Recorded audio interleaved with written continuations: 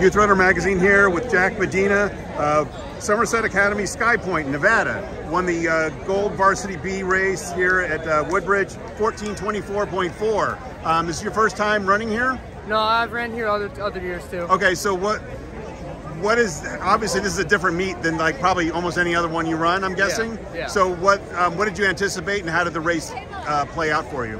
Um, I saw you know the other varsity races, and I saw you know Pre-Tree go like uh, 14, 14 or whatever he ran. So I was uh, I was I was expecting you know some competition, but at the same time I I was also ready to be in the pack in the lead there.